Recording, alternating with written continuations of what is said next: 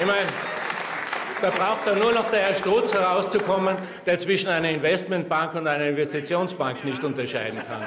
Aber das ist ja nur die Spitze. Ich meine, darunter spielt sich sowieso nichts anderes. Ja.